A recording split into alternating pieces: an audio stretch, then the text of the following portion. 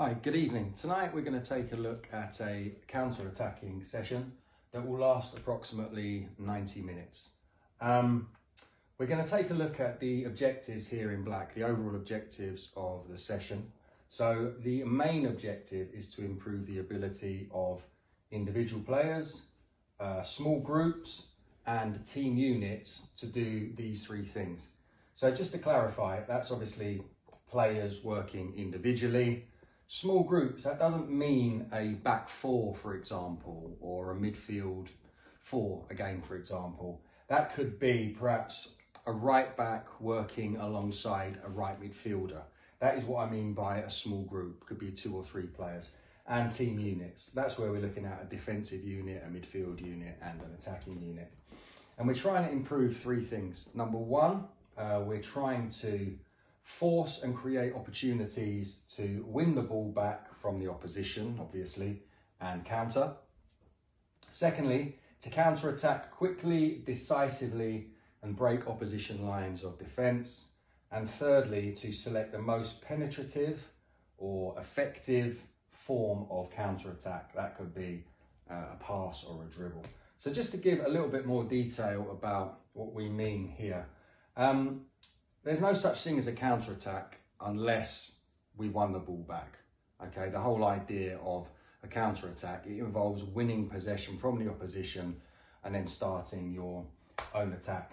So one of the major main skills in counter attacking is setting traps, pressing uh, the opposition so that we can win the ball back and then launch an attack. Now there's a balance um, some coaches use a sort of six second rule, which basically means after six seconds, a counter attack is no longer a counter attack. There comes a period of time when the team in possession, if they've had possession for seven, eight, nine passes, maybe even 15 or 20 seconds, they are in possession. They are building an attack, but they're no longer building a counter attack. And part of that uh, distinction is to do with the opposition. So when uh, the opposition are back in defensive balance and reorganised, uh, the counter-attack is, is no longer. Secondly, the counter-attack must be quick, decisive and break lines. Again, if we're talking, if we're using six seconds as a rule, um, the moment the, the, the counter-attack goes beyond that period of time, or also it can be to do with the direction of the attack. Ideally, we want to keep a counter attack moving forward from pass to pass to pass. If it starts to go backwards or sideways, momentum is lost. And again, that balance between counter attack um, and attack or in possession and building attack is, is gone. Um, and thirdly, if we are going to do it quickly, we need to penetrate opposition lines. And that involves choices. Um, is a dribble the most effective way to launch the counter-attack or continue the counter-attack? Is it a pass? Now, obviously, if we're counter-attacking and we win possession back in the final third, um, there may not even be a need for a pass or a dribble. The counter-attack could start with a shot on goal. So if we look now at the four main activities, we're starting here with a warm-up. Now, in any good session, the warm-up should be uh, should be linked to uh, the, the skills that we are developing for the session. So if we, if we look at it here, here's the main playing area and there are four scoring boxes uh, in the area. One at the top, one at the bottom and two at the side. Now there's a total of 18 players uh, within the square and they're divided into uh, three, three small matches. Um, we've got a 4v2, a 4v2 and a 4v2. Now in this session, uh, the coach should be working with the red team. They are the counter attacking team. So although there are 18 players inside the square, the, the, the, the teams are competing in mini matches, 4v2 uh, times 3. So the Blues are starting in possession and the Reds are trying to win the ball back and counter attack.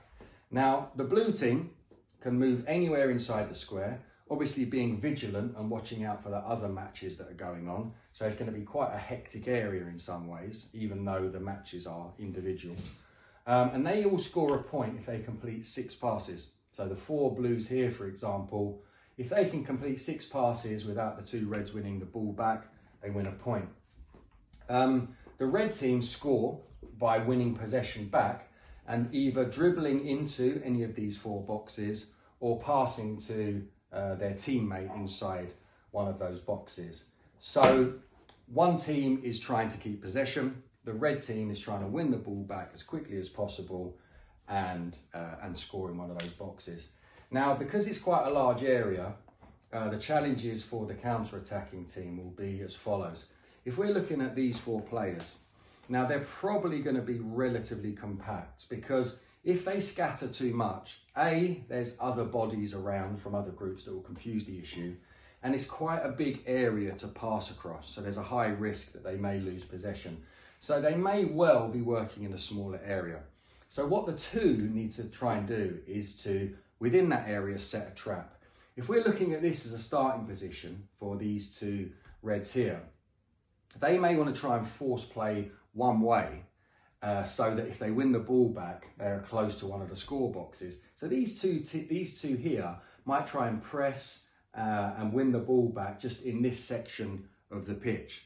If the blue teams spread out and move into this area of the pitch, they may try and corner them off before they win the ball. So intelligent pressing, which would allow them to quickly break into the nearest um, score box.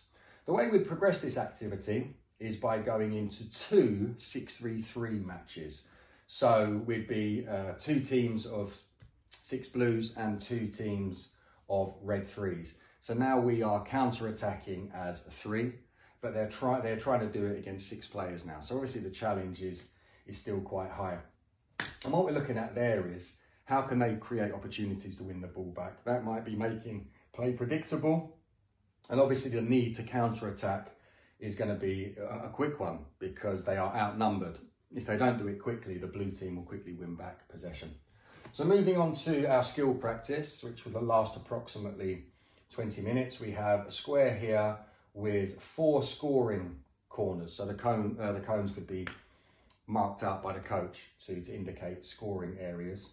Now we've got um, two blues who are working with these four uh, black players here. We've got four red players here. Again, we are coaching and working with the four red players. So basically, it's these two blues working with the black players to make a six. The blues must stay in the area, the black players must stay around the outside of the area. The reds must also work inside, okay? So these blue players can keep possession amongst themselves, but obviously because they're outnumbered, it's going to be quite hard for them to build an attack two against four. So any time they want, they can pass out to one of the black players, receive it back. Perhaps play a one-two and go out and play the other way. Um, and the players on the outside have two touches maximum, so that's basically one touch and play in, so they can't dwell on the ball. Uh, the blues and the blacks combined, six passes for a goal, and much like the first activity, the red team, if they win possession back, what they need to do is either dribble into or pass to a teammate inside um, one of the one of the square uh, one of the corners here. Now, one of the challenges for the the red team is, is what they do about uh, controlling space to win to win the ball back and launch a counter. In here, they have a numerical advantage, so they want to be looking at um, if they can't win the ball back quickly, at least stopping opportunities to play out. So they might try and circle or you know make out a square shape around the blues so that they're making opportunities to play out difficult. Now, obviously, if they can suffocate the blues, the blues will be stuck and then the reds have the opportunity to press. So by making it hard to play out, the reds create opportunities to press. If there's opportunities to press, you can win the ball back. And then we've got a 4v2 in here. So there should be quite a high success rate once the four reds have won the ball back that they can break into the corners. Their biggest challenge is going to be when they are split. And if one of the blue players plays out here, how do the Reds handle it? Because they're going to need to apply some pressure to this player on the ball. But if there's too much, perhaps if two players, for example, are trying to be too clever and stopping the pass back in, it gives these two blues here an opportunity again to dominate in here. So what is particularly um, pertinent here is creating the opportunities to, to win the ball back. Uh, I think the red team will have more success of actually launching a counter-attack in this activity than this one. But the real challenge here is how do we start the counter attack? And that comes from individual players making good decisions about when to press, um, small groups, it could be these two working together, and also how they operate as a unit to stop balls out and force opportunities to win the ball back. So we're just going to go on to the third activity now. If I just turn uh, the board over and get it balanced. okay, so we are now moving into um, another skill practice, um, a slightly more advanced skill practice, and it's leading into a, a small-sided game. So you might call this like a, a link practice, okay?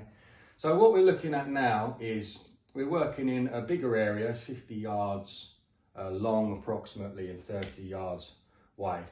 So again, we are coaching the red team to, to counter attack. So in this half here, we've got a blue goalkeeper, supply of footballs, and they're going to start the attack. They have an overload of four blues versus two reds in this half, and we have a 2v2 balance here, okay? So the goalkeeper starts the attack with a rollout or a pass out to any of these blue defenders. So if the player, the goalkeeper has rolled it out to this blue, what they're trying to do is the blue team are trying to break into uh, are trying to break into this half. Two players will break in. So for example, if the pass out is here and this player has managed to dribble across, he joins in as the third player and a supporting player makes a supporting player run. So it's now 4v2 here. So it's gone from a 4v2 overload here to a 4v2 overload here. So they obviously try and score past the red goalkeeper. Once the attack is over, uh, there will be 4v2 here because that's how the, the attack finished. The red goalkeeper will, will play out and it will be four blues versus uh, two reds. And again, the same principle. They're trying to get two players to go uh, across. Now, what the red team are trying to do in either half, they're going to be outnumbered uh, by four to two. They're trying to win the ball back and score in that half of the pitch. So if the Reds, for example, stop the attack here, they're trying to score past the blue goalkeeper here. If they stop the attack here, they can score uh, in, in this goal here.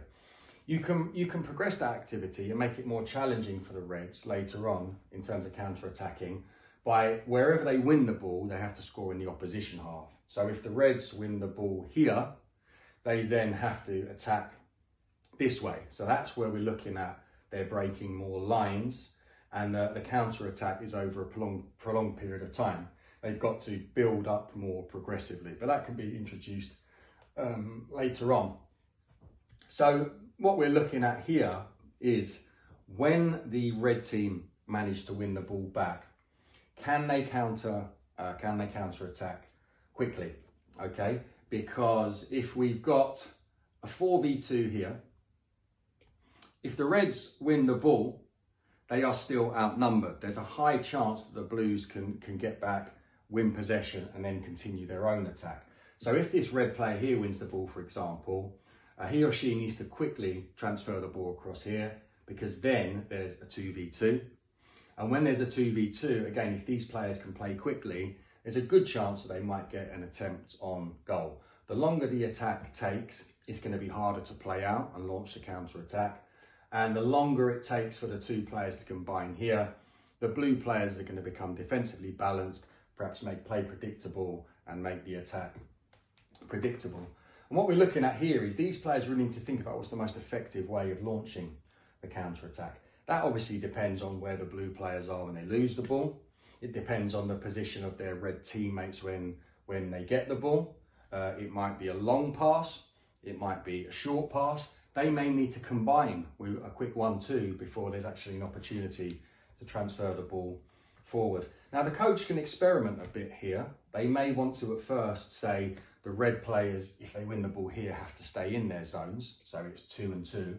Or they might want to say, okay, well the person who either passes across or dribbles across joins in, and then there's a 3v2 attacking overload to for the coach to experiment with maybe one of the blue defenders can, can come back. So it's a 3v3 balance in the final zone. So that's something for the coach, uh, for the coach to play with. And then finally, um, we're going into uh, an 8v8 small-sided game.